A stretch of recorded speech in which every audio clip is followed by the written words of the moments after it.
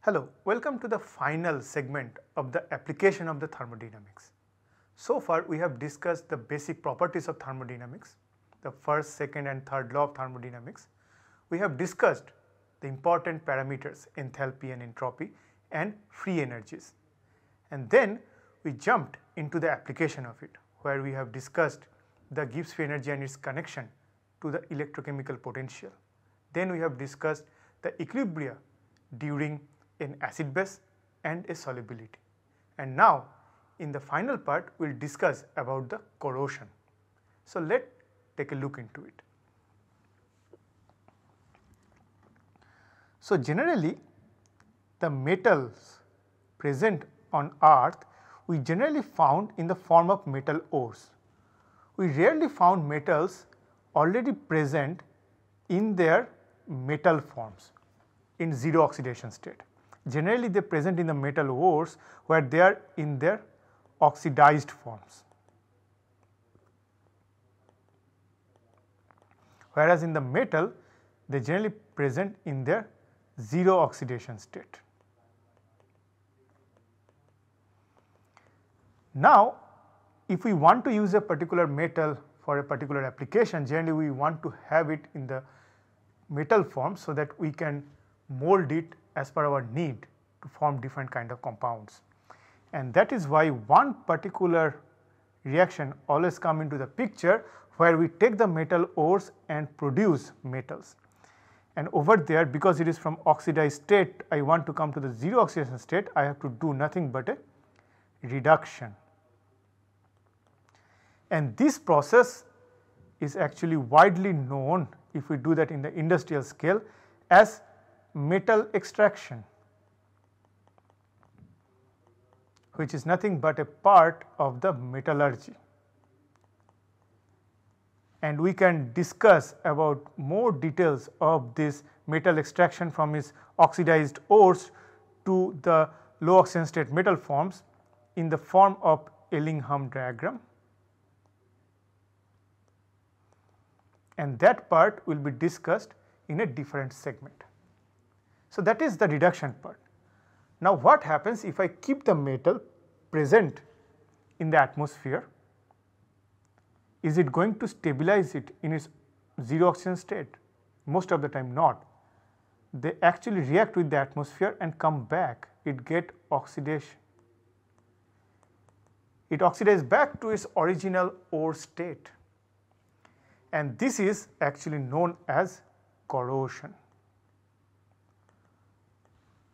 and in the oxidized state in the metal ores they are nothing but we can say metal salts or metal oxides where they have oxides, they have sulfides, they have sulfates, they have carbonates.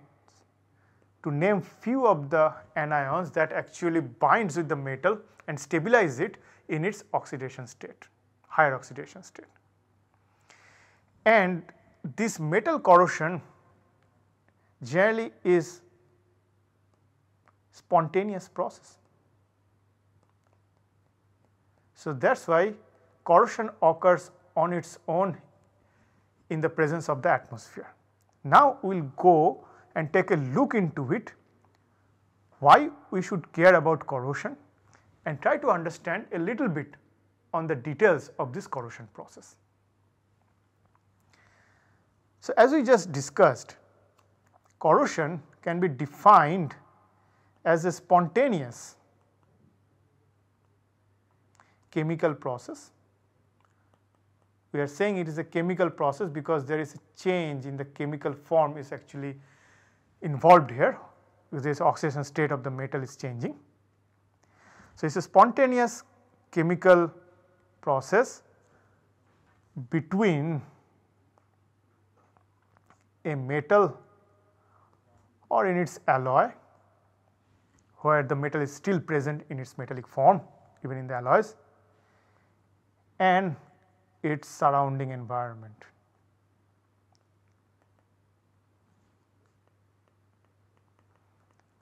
So, this process is known as the corrosion. So, what is an example of corrosion? So, one most common example is if we take something made out of iron in solid form and once it is exposed to aerial oxygen and water molecule present around in the form of humidity, it produces the iron oxide bound with water and this is known as the rust. So, rusting is nothing but a corrosion process. So, why do we care about corrosion? because corrosion is a very destructive process. So, corrosion the effects are it is a destructive process. So, it actually destroys the metal surface and metals are actually used in a lot of constructive works all around the world.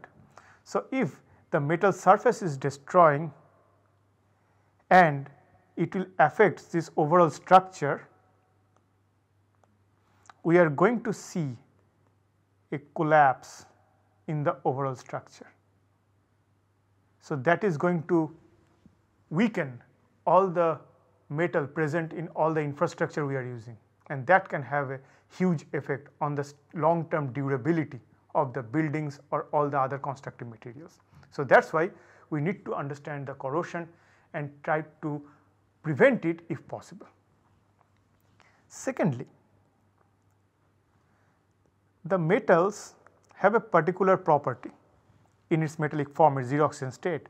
Once it get oxidized, there is a change in mechanical or chemical properties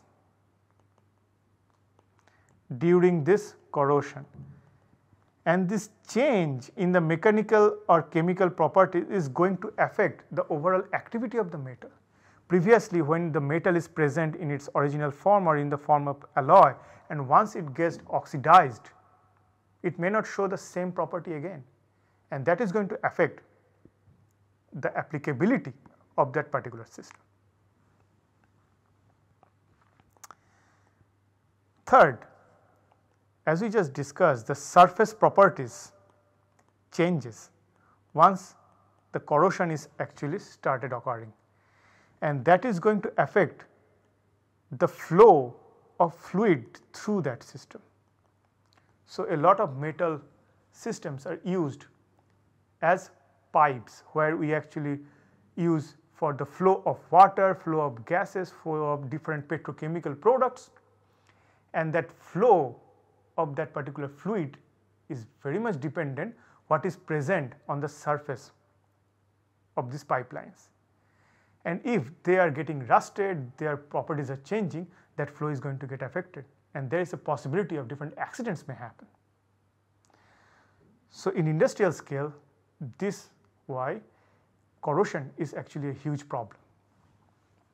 And last but not the least during the change of this oxidation state there is a possibility of contamination. During the change in the oxidation state when the metal get oxidized it can leach out into the pipelines into the fluids that is actually flowing through that. And as human beings or other animals and biosphere is constantly connected to that the whole biosphere is exposed to that contamination. And if it is actually a toxic metal, then it is very bad. For an example, this lead poisoning happened because of this lead pipe is leaching some lead into the water. So, all these problems are actually showing us that the corrosion is a phenomena that is going to occur anyways, but we need to know how to control it and how to prevent it. And nowadays, I am just to give you an idea, how corrosion is important, 30 to 40 percent iron and steel that we are manufacturing today,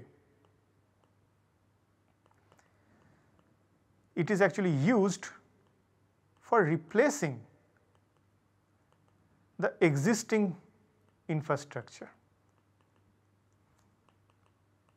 So, now you can have an idea that the overall iron and steel that we are using how prone they are for this particular corrosion. And because we cannot go without iron and steel, we are going to replace it and almost half of it, a little less than half of it, it is actually replacing work all the time. So, it is showing the influence and the long term effect of corrosion in real life. So, now take a look how the corrosion actually occurs. So, the corrosion actually occurs in two different ways. The first is known as the dry corrosion.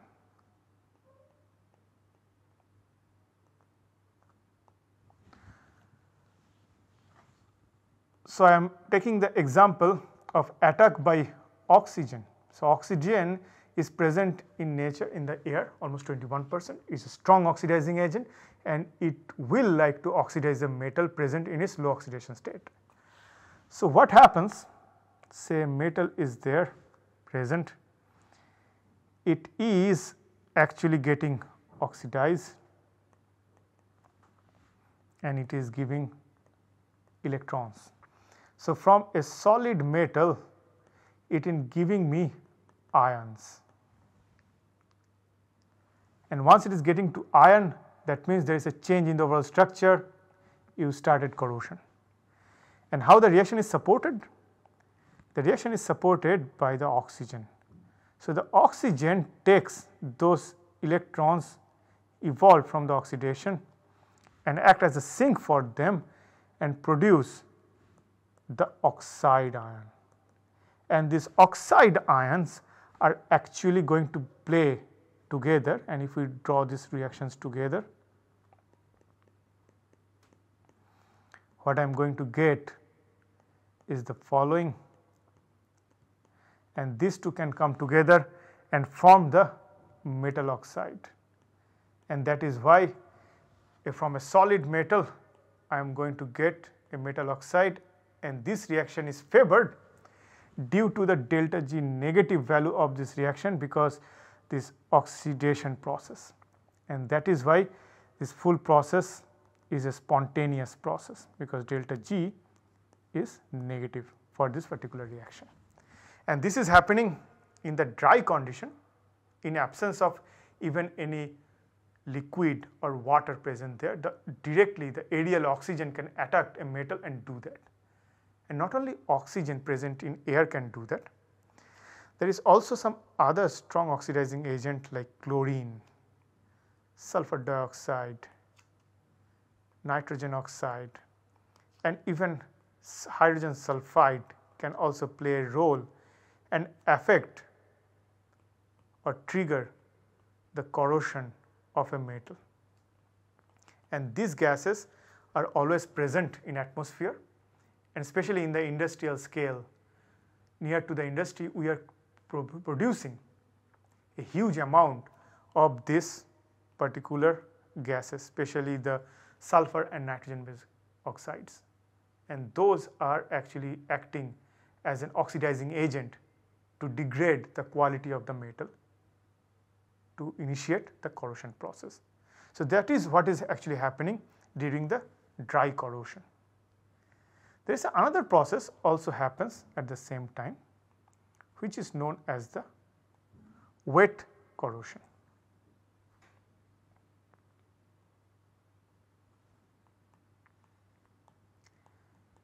In the wet corrosion process as it is quite obvious from its name, now the liquid or water actually has to play a big role. So, now say I have a iron container and this iron container actually creates two different phases.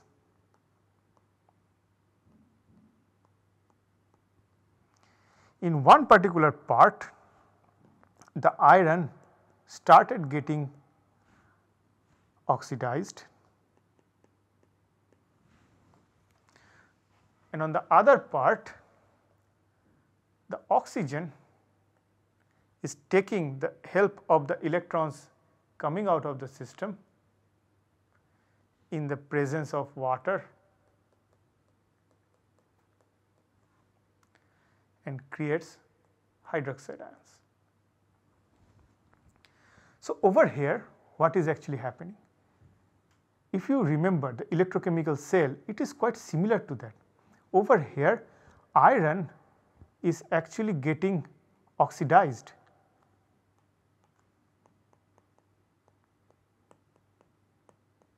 So, it is nothing but a anodic reaction. So, this part of this vessel is acting as an anode, whereas oxygen is coming on this side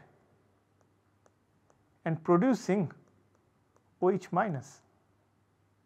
So, which is nothing but a cathodic reaction or reduction of it. Oxygen is getting reduced and this is nothing but you can say the cathode section of the system.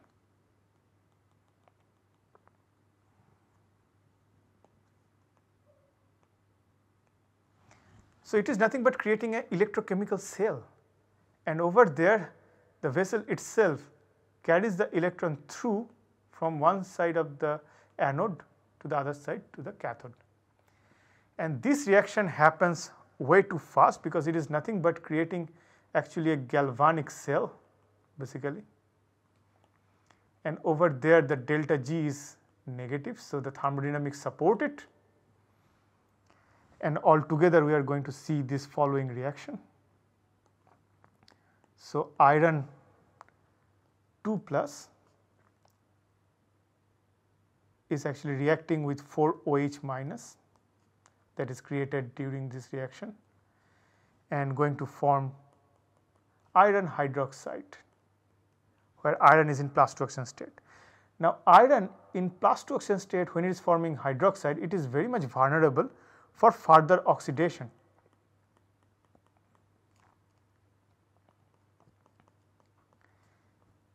And in presence of water it creates nothing but rust. And this process is very spontaneous, very much feasible and happening all the time with iron bound system all around the world. One of the prime example of that is the ship corrosion. In the large ship or vessels, the most of the ship outside interior is designed with iron and when it is exposed to water, when it is hitting the sea, it is exposed to water and vapor and humidity, it is reacting with the aerial oxygen and in the presence of high salt concentration which actually makes sure this electron transfer happen way too fast, it is creating this wet corrosion very fast and that actually start corroding the outside of the ship. So, unless we put a protective layer on the outside, it is going to corrode the sea in no time. So, that is why you can see any iron system present very near to a water body gets corroded very easily and produce rust.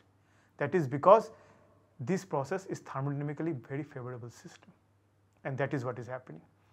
And if we want to compare between wet corrosion and dry corrosion, wet corrosion is a much more common process.